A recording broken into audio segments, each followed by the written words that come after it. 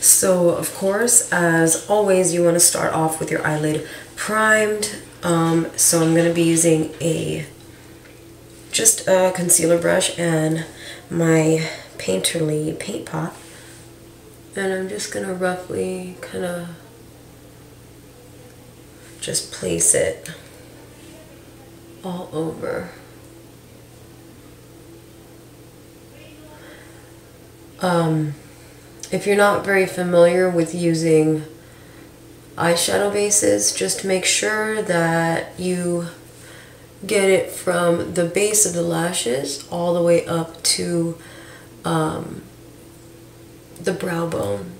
And if you uh, fill in your brows at all like I do, um, you might want to not do your eyebrows yet until you put a little bit of uh, eyeshadow base or primer in them as well. It just helps keep the product on there.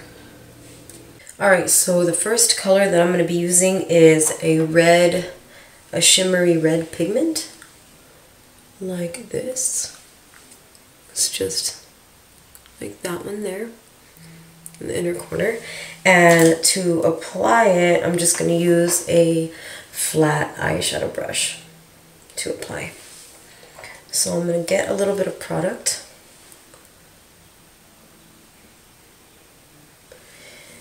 Like so. And I'm going to take the cap and smash it into the cap. Tap off excess. And this is going to be applied in the inner corner. Pat it on. Especially because I'm uh, well, you don't have to use these pigments. You can use any red, yellow, and green. But I'm not taking this any higher than where I can feel my eyeball.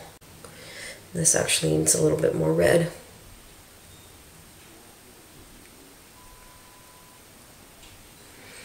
So,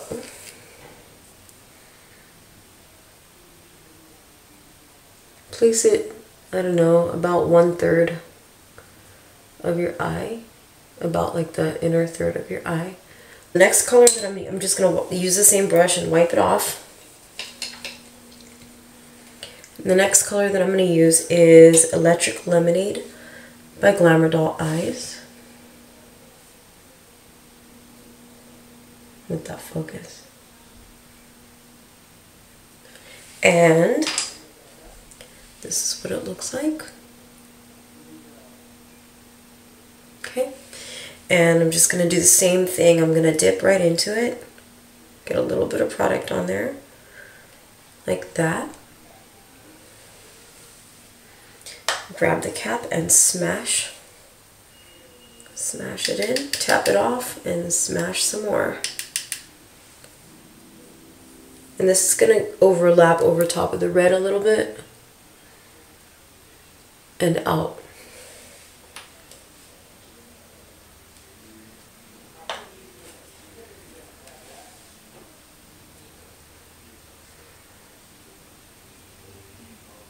Now you can just kind of sweep a little bit back and forth. Now what you want to do is get a dark shimmery green. I'm going to be using this one by La Femme. Um, the label's kind of messed up and rolled up, but I really can't show this to you guys. Because if I, it's so full, if I tip it. So you want to do the same thing, get that on there. Grab the cap and smash it in and then tap it off to reduce fallout. So this is just going to be padded on to the outer corner.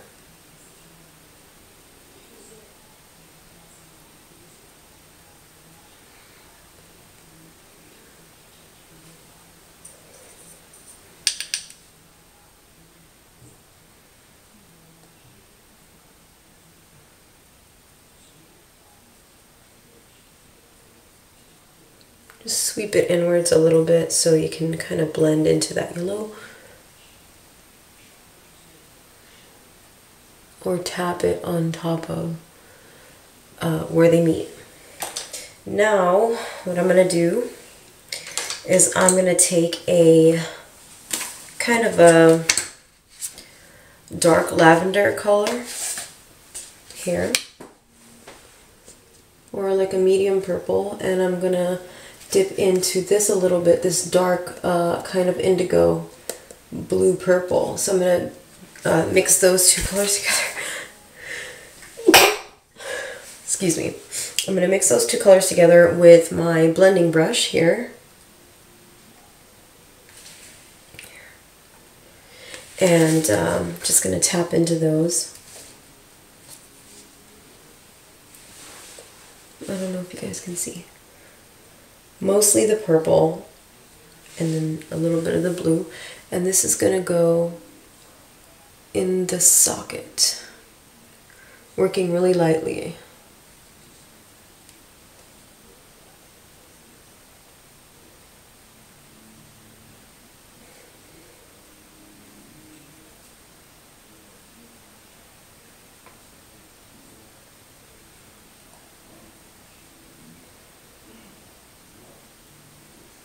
So even though I'm bringing this color in pretty far, I'm going to try to keep it as light as possible in the inner corner.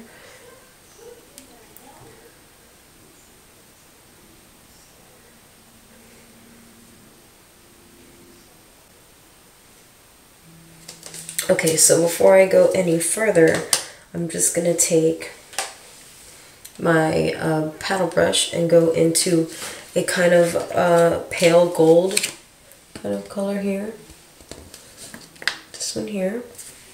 And that's going to go in as a highlight. You don't have to use a shimmer uh, on your highlight because we are using a bunch of shimmers on the lid and normally I really don't like to do that but um, if you apply um, apply it pretty sheer and just kind of uh, blend it out a lot where it doesn't have so high of a sheen, then it should be okay. So also I'm just going to use this brush and the color that's on here to kind of blend uh, into the socket color to soften it out some more. Go into that purple and that blue again and just kind of build up the color a little bit.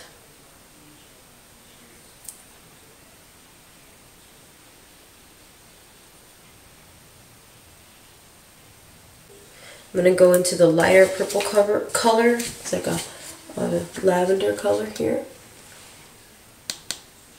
That one is going to be a transition color. Just going right on the edge of that and I'm very, very lightly just kind of blend that just to give a little bit of a pink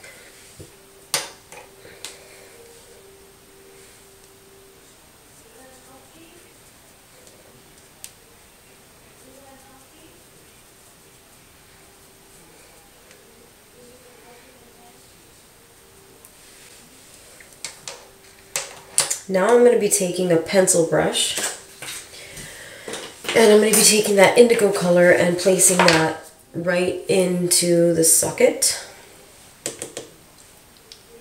And this is going right into the socket. But I'm not going to bring, oh yes I am.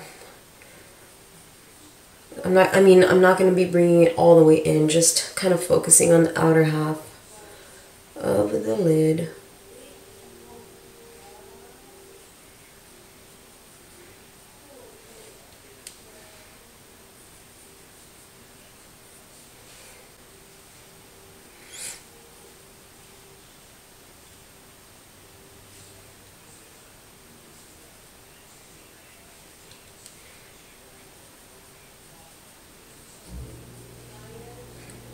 Like that.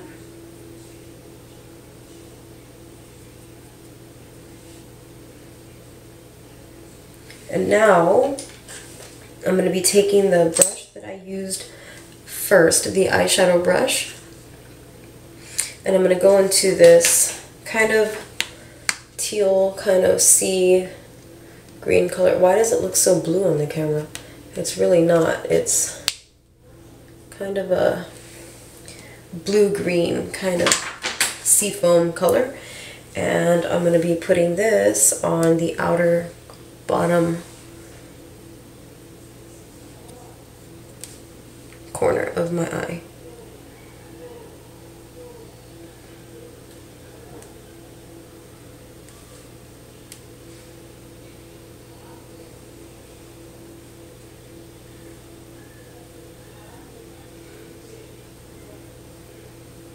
Actually, almost along the whole um, lash line, except for the inner corner. And mixing that teal color with that indigo color, this is going to go on the outer portion, I mean the outer third.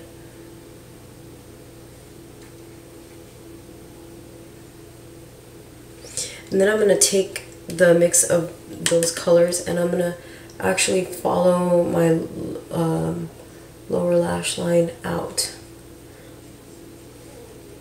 Then going in with a darker color, kind of using that to make a little bit of a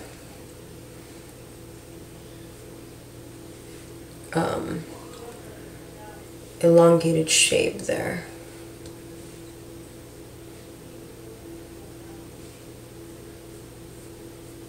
Just kind of bringing it up into into there.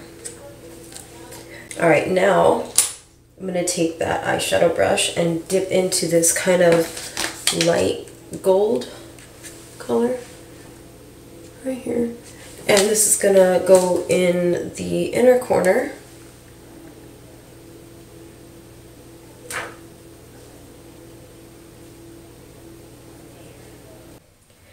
Okay, so what am I doing now?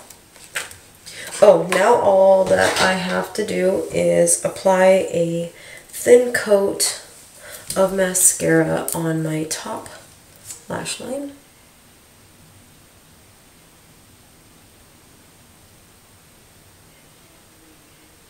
Oh, I don't want to forget my lower waterline.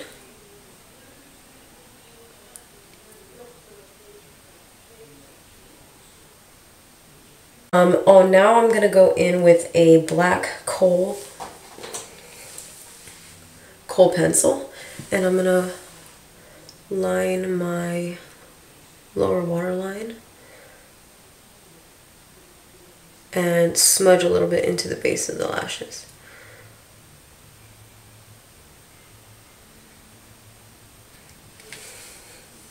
Now I'm going to take my e.l.f liquid liner and do a small wing on the inner uh, corner of my eye.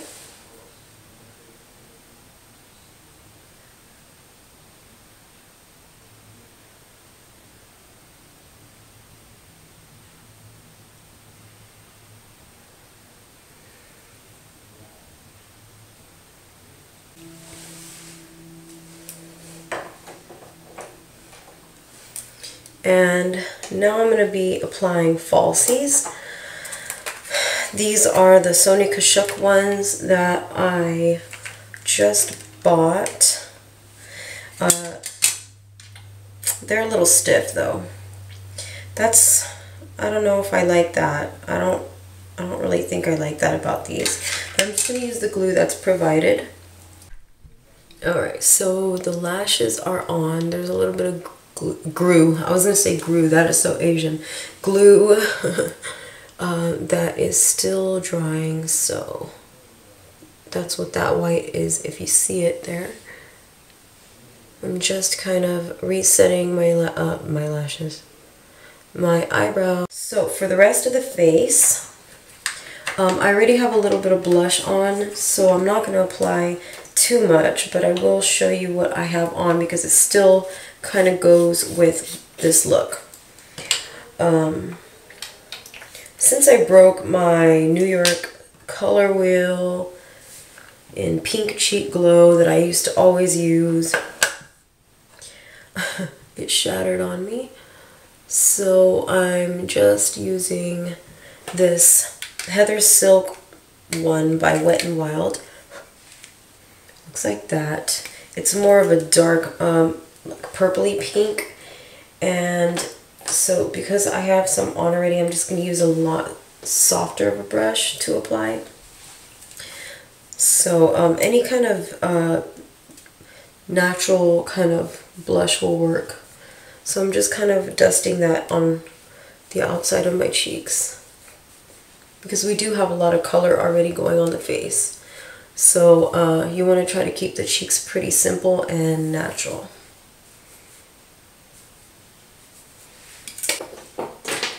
But you can use a nude. You can never go wrong with something nude.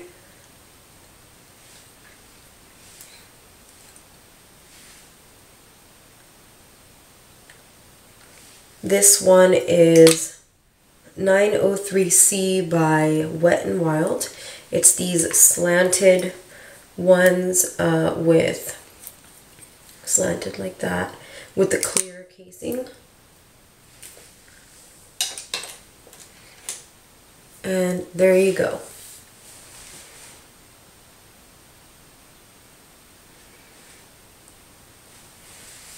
Alright, so I hope you guys enjoyed this tutorial. I know it is pretty colorful, but um, it's using, I think it's colorful without looking too, too uh, in your face. I think that's why I chose to use the purple and the blue in the socket um, because it it's not screaming colors. Um, so you do get a hint of the color when you like look down or, you know, you do see a peek of color like that, but it's not like from far away. It's not like, hey, I have a bunch of colors on my eyeballs. So, um, I really hope you guys like this one. It was really fun to make. Um, it was definitely in, oh crap. I really hope you enjoy this tutorial. It was really fun to create. Uh, it was a spur of the moment kind of thing that I um, uh, discovered when I was playing with makeup last night. I really wanted to do a color combination that was kind of rainbow, kind of not. So um, I hope you guys like it. And um, until the next video, I'll talk to you guys later.